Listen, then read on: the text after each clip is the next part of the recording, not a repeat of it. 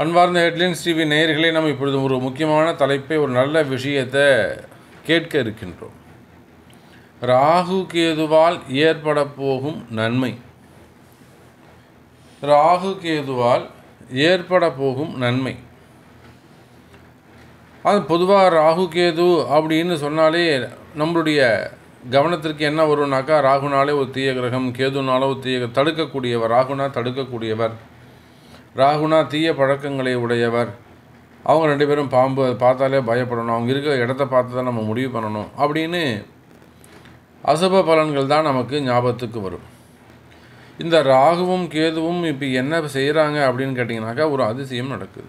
இது வருஷா வருஷம் நடக்கக்கூடிய ஒரு விஷயந்தான் இந்த ஜூன் மாதம் மூன்றாம் தேதி முதல் ஆகஸ்ட் மாதம் நான்காம் தேதி வரை மூணு ஆறு இரண்டாயிரத்தி இருபத்தி ஒன்று முதல் நாலு எட்டு இரண்டாயிரத்தி இருபத்தி ஒன்று வரை. இந்த ராகுவும் கேதுவும் ராகு பகவான் அனுஷ நட்சத்திரம் நான்காவது பாதத்திலும் ஆமாம் கேது பகவான் அனுஷ நட்சத்திரம் நான்காவது பாதத்திலும் ராகு பகவான் ரோகிணி நட்சத்திரம் இரண்டாவது பாதத்திலும் சஞ்சாரம் செய்கிறார்கள். இதில் என்ன சாமி ஒரு அதிசயம் இருக்குது அப்படின்னு கேட்டிங்கன்னா இந்த ராசி கட்டத்தில் ஒன்றாவது சாட்டில் ஒன்றாவது ராசி கட்டத்தில் இந்த ராகுவும் கேதுவும் எங்கே இருக்கிறார்களோ அதே இடத்துல அதே அமைப்பில் வர்க்கோர்த்தமம் என்று சொல்லுவார்கள். நவாம்ச கட்டடத்திலும் அதே இடத்துல ராகுவும் கேதுவும் அமைகிறார்கள். அப்போ இந்த ராகுவும் கேதுவும் ஒரே டிகிரியில் ஒரே சமயத்தில் ஒரே இடத்துல இருக்கிறாங்க அப்படின்னு வச்சுக்கோங்களேன். இப்போ இந்த ஜூன் மாதம் மூணாந்தேதியிலேருந்து ஆகஸ்ட் மாதம் நாலாந்தேதி வரலும் ஒரு சுமாராக இந்த பிரபஞ்சத்தில் உலகம் முழுவதும் அப்படி வச்சுக்கோங்க நாட் ஓன்லி இந்தியா வேர்ல்டு வைடாக ஒரு சுமாராக இந்த ரெண்டு மாதத்தில் அறுபத்தி ரெண்டு நாட்களில் ஒரு ஒரு லட்சம் குழந்தைகள் பிறக்குதுன்னு வச்சுப்பான். ஒரு ஒரு உதாரணத்துக்கு சொல்கிறேன் அது அதுக்கு மேலே கூட இருக்கலாம். அப்போது வேர்ல்டு வைடு இந்த அறுபத்தி ரெண்டு நாட்களில் ஒரு லட்சம் குழந்தைகள் பிறக்குது என்று சொன்னால் அந்த ஒரு லட்சம் குழந்தைகளுடைய ஜாதகத்திலும் ஜனன ஜாதகத்திலும் ராகுவும் கேதுவும் வர்க்கோர்த்தமம் பெற்று அதாவது ஆட்சி அதிகாரம் பெற்று முழு திறமை பெற்று வலிமை மிக்கவர்களாக ராசி கட்டத்திலும் நவாம்ச கட்டத்திலும் ஒரே இடத்தில் சஞ்சாரம் செய்வார்கள். இது ஒரு தனிச்சிறப்பு. எப்படி இப்போ பிறக்க போகிற குழந்தைக்கு குரு வக்ரம் சனி வக்ரம் அப்படின்லாம் இருக்கு செவ்வாய் நீச்சம் அப்படின்லாம் இருக்குமோ? அதை போலவே இந்த ராகு கேது வர்க்கோத்தமம் இருக்கும். அப்போ இது ஒரு கிரக அமைப்பு. இதனால் நிறைய மாற்றங்கள் இந்த பிரபஞ்சத்தில் நிகழ்ந்துகிட்டு இருக்கு. நாம் இதெல்லாம் பார்த்துட்டு தான் இருக்கோம். சரி. இந்த ராகு கேதுடைய வர்க்கோத்தம ராகுன்னு என்ன சாமி ராகு செஞ்சிடுவார்? ராகு என்ன அவ்வளோ பெரிய பிரம்மாண்டமா அப்படின்னு கேட்டிங்கனாக்கா நிச்சயமாக ராகு என்று சொன்னாலே பெரு மிகப்பெரியது. எதெல்லாம் ரொம்ப பெருசாக இருக்கோ அதெல்லாம் ராகு. இதெல்லாம் ரொம்ப சின்னதாக இருக்கோ அதெல்லாம் கேது. மிகப்பெரிய சார் ஒரு பிரம்மாண்டமான ஒரு செட்டு சார். அப்படின்னு சொன்னால் பிரம்மாண்டம் அப்படின்னு சொல்லிட்டாலே அது ராகு. சார் ஒரு சாதாரண ஒரு சின்ன இது சார் சின்னது அப்படின்னு சொல்லிட்டாலே அது கேது. அப்போ இந்த ராகுவை பொறுத்தவரையிலே ஆசையை தூண்டக்கூடியவர் ஒவ்வொரு மனிதனுக்கும்.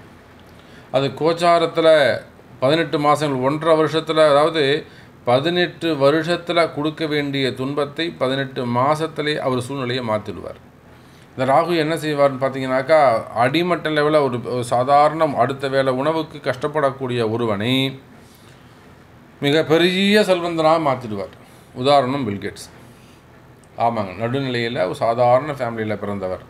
ஆனால் இன்றைக்கி எத்தனையோ கோடிக்கு அதிபதி. அதே போல் மிக பெரிய உயர்ந்த நிலையில் இருந்தவர்களை கூட தலைகீழாக மாற்றி விடுவார். இதுக்கு நம்ம பேர் சொல்ல முடியாது. நிறைய பேர் இருக்காங்க. அப்போது ஒரு சாதாரண நிலையில் இருக்கக்கூடிய உயர்ந்த நிலைக்கு மாற்றுவதும் உயர்ந்த நிலையில் இருக்கக்கூடிய ஒருவரை தலைகீழாக குப்புற படுக்க வைக்கிறதும் யாருடைய வேலைங்க? ராகுவுடைய வேலை. அப்போ எப்பேற்பட்ட காரியத்தை அவர் செய்கிறாரு அப்படின்னு கேட்டிங்கனாக்கா எதையும் செய்து காட்டக்கூடிய திறமை ராகுக்கு இருக்குது அதனால தான் அவரை பிரம்மாண்டம் அப்படின்னு சொல்கிறோம் அதே போல் தாங்க கேது. பொதுவாக ஒரு சாதாரண ஒரு மனிதர் ஒரு ஒரு கம்பெனியில் ஒருத்தர் வேலை செய்கிறாருன்னு வச்சுப்போமே இல்லை ஒரு நார்மலாக ஒரு ஒரு கடை வச்சுருக்கிறார் இல்லை ஒரு தள்ளுவண்டி பிஸ்னஸ் பண்ணுறார் தள்ளுவண்டியில் ஒரு பழம் வச்சுருக்கிறாருன்னு வச்சுப்போமே இல்லை ஒரு டீ கடையில் ரெண்டு பேர் டீ சாப்பிட்டுட்டு இருக்காங்க. பாரு இது இங்கே வந்து இவருக்கு அந்த இவருக்கு அமைச்சருக்கு ஒரு ஐம்பது கோடி ஐநூறு கோடி கிடச்சிதான்ப்பா எனக்கு அதில் ஐநூறு கோடி வேணாம்ப்பா ஒரு அஞ்சு கோடி வந்தால் கூட போரும் எனக்கு. இந்த அஞ்சு கோடி வந்தாலே போரும்ப்பா எனக்கு அப்படின்னு.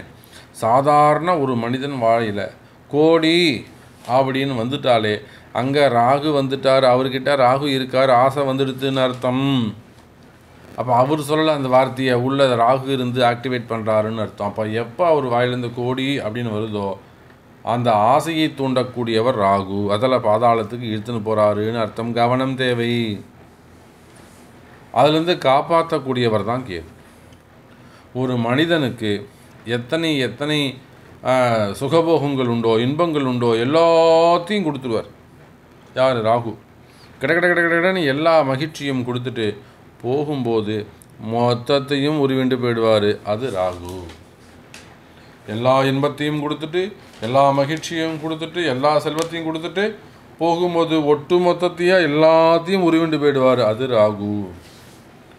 அதே போல் ஒரு மனிதன் தன் வாழ்நாளில் எனக்கு இது வேணவே வேணாம். ஐயோ பணமே என் கிட்ட கொண்டு வராது நீ. அப்படின்னு ஒருத்தன் சொல்கிறான்னா அவன் கேது. ஞானின்னு அர்த்தம்.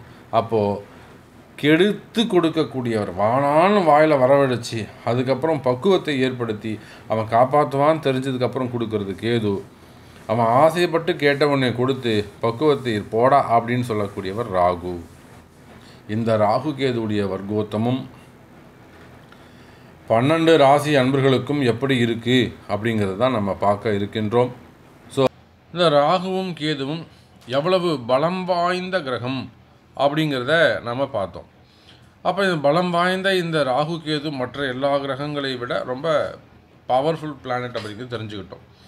அப்போ இந்த பவர்ஃபுல் பிளானட்டு மீன ராசிக்கு என்ன நன்மையை செய்ய போகிறது என்ன நன்மையை தரப்போகிறது அப்படிங்கிறது தான் நாம் வந்து இதில் பார்க்க இருக்கின்றோம். மீனராசி என்பர்களே பொதுவாக மீனராசி நண்பர்களுக்கு இன்றைக்கி என்ன சூழ்நிலையில் இருக்காங்க அப்படின்னாக்கா தொழில் செய்யக்கூடியவர்கள் அதாவது பிஸ்னஸ் பண்ணக்கூடியவங்க தாங்க நம்ம நான் ஆரம்பித்த எல்லா பிஸ்னஸுமே லாஸ்ட்டில் இருக்குதுங்க சாமி. நான் ஒரு சின்னதாக ஹோட்டல் ஆரம்பித்தேன் அடுத்து அடுத்து கடன் வாங்கி போட்டு போட்டு கடன் வாங்கி போட்டு கடன் வாங்கி போட்டு அது கடைசியில் கை கொடுக்கவே இல்லைங்க சாமி. கடைசியில் அது கடையும் கைவிட்டு போயிடுது. அந்த மாதிரி சின்ன தொழிலில் ஆரம்பித்து ஒரு பெரிய ஹையர் லெவல் வரலாம் ஒரு ஹையர் லேங் ஒரு பெரிய ஒரு இரநூறு கோடி முந்நூறு கோடி ஆயிரம் கோடி இந்த மாதிரி ப்ராஜெக்ட் எடுத்து பண்ணக்கூடியவங்க வரையிலும். ஸோ நார்மல் ஸ்டேஜ்லேருந்து ஒரு ஹையர் ரேங்க் வரையிலும் பிஸ்னஸ் பண்ணக்கூடியவங்களுக்கு மீனராசியாக இருப்பீர்களே ஆனால் உங்களுடைய பணம் உங்களுடைய ஃபண்டு நீங்கள் ஒரு பிஸ்னஸ் ஸ்டார்ட் பண்ணுறேன் அப்படின்னு சொல்லிட்டு அந்த பிஸ்னஸில் போயிட்டு லாக்காக இருக்கும் ஓகே ஸோ அது அதனால் வந்து பிஸ்னஸில் லாக் ஆனதால் ரொட்டேஷன் இல்லாமல் அப்புறம் இதை அடைக்கிறதுக்கான இன்ட்ரெஸ்ட்டு அதுக்கான ஒரு கடன் அதுக்காக ஒரு கடன் அப்படின்னு கடன் தான் வளர்ச்சி அடைந்திருக்குமே தவிர பிஸ்னஸ் வளர்ச்சி அடைந்திருக்காது. அப்போ குறிப்பாக மீனராசி அன்பர்களுக்கு என்னன்னாக்கா தொழிலில் இருக்கக்கூடிய தடைகள். அது வந்து கடன் பிரச்சனைன்னு சொல்லக்கூடாதுங்க. ஏன்னா ஏன் சாமி கடன் பிரச்சனைன்னு சொல்லக்கூடாதுன்னா நீங்கள் போட்ட முதலீடுகள் படி உங்களுக்கு தொழில் ஒழுங்காக நல்லபடியாக நடந்திருக்குமே ஆனால் உங்களுக்கு இந்த கடன் பிரச்சனை வந்திருக்காது ரொட்டேஷன் போயிட்டுருக்கும். அது லாபம் ப்ராஃபிட் வரலாம் கூட அட்லீஸ்ட் ரொட்டேஷன் இருந்திருக்கும். அப்போ தொழிலே முடங்கி போனதால தான் நீங்கள் அது இன்ட்ரெஸ்ட் கட்ட முடியாமல் ரொட்டேஷன் இல்லாமல் கடன் வந்து அதிகரிக்க காரணமாக இருந்தது. அப்போது இதுக்கு பேர் தொழில் தடை. கடன் பிரச்சனை இல்லை. ஆனால் இந்த கடன் பிரச்சனையில் உங்கள்கிட்ட இருக்கிற எல்லா பைசாவையும் வாங்கி கொண்டு வந்து எடுத்து போட்டு உங்களை காலி பண்ணது யார்? ராகு. அதே போல் இந்த மீனராசி என்பர்களுக்கு நிறைய வம்பு வழக்குகள் இருக்கும். அது எப்படிப்பட்டதாக இருக்கும்? மேபி இந்த லோன் சம்மந்தப்பட்டதாக இருக்கலாம். பேங்க் லோன் சம்மந்தப்பட்டதாக இருக்கலாம். இல்லை கடன் வாங்கினதாக இருக்கலாம். ஐப்பத்திகேஷன் அந்த கேசஸாக இருக்கலாம். இஎம்ஐ சம்மந்தப்பட்டது அதே போல் ப்ரைவேட்டாக யார்ட்டையாவது நீங்கள் ரொட்டேஷனுக்கு வாங்கியிருக்கலாம். ஸோ அவங்களுடைய இன்ட்ரெஸ்ட்டு அவங்க அதுக்கு மேலே இன்ட்ரெஸ்ட்டு போட்டு போட்டு அவங்க உங்களை காலி பண்ணலாம். இதெல்லாம் ரொம்ப ப்ராக்டிக்கலாக சொல்கிறேன் நான். இது உண்மை. இது உண்மையாக இல்லையான்னு நீங்கள் தான் எனக்கு சொல்லணும். ஆமாம் சாமி கரெக்டாக இருக்குது அப்படிங்கிறத நீங்கள் தான் எனக்கு சொல்லணும். ஸோ அதே போல் அசட் சம்மந்தப்பட்டதாக இருக்கலாம் ஃபேமிலி அசட் சம்மந்தப்பட்டதாக இருக்கலாம் ரிலேஷன்ஷிப் சம்மந்தப்பட்டதாக இருக்கலாம் அக்கா தங்கைகள் அண்ணன் தம்பிங்க பெற்றோர்கள் பிள்ளைகள் உறவு முறைகளில் ஏன் பார்ட்னர்ஷிப்பில் இருக்கலாம். மேபி அது ஹஸ்பண்ட் ஒய்ஃபாக இருக்கலாம். ஸோ அந்த கோர்ட்டு கேஸு இல்லை போலீஸ் கம்ப்ளைண்ட் அப்படிங்கிறது நிச்சயமாக அந்த மீன ராசிக்கு இருந்துட்டு இருக்கும். ஐயா அது ஜாப் ரிலேட்டடாக சொல்லணுன்னாக்கா அது ப்ரைவேட் ஜாபோ அல்லது கவர்மெண்ட் ஜாபோ ஒரு நார்மல் ஸ்டேஜில் இருந்து ஒரு ஹையர் ரேங்க் ஒரு ஒரு ஐஏஎஸ் ஐபிஎஸ் ஒரு அந்த ரேங்க் வரல. ஒரு ஒரு கமிஷனர் அதுக்கும் மேலே செக்ரட்டரி சீஃப் செக்ரட்டரி அதுக்கும் மேலே. அப்புறம் இவங்க ப்ரைவேட்டாக இருந்தால் ஒரு சிஇஓ அதுக்கும் மேலே சேர்மன் அப்போ நீங்கள் யாராக வேண்டுமானாலும் இருங்க.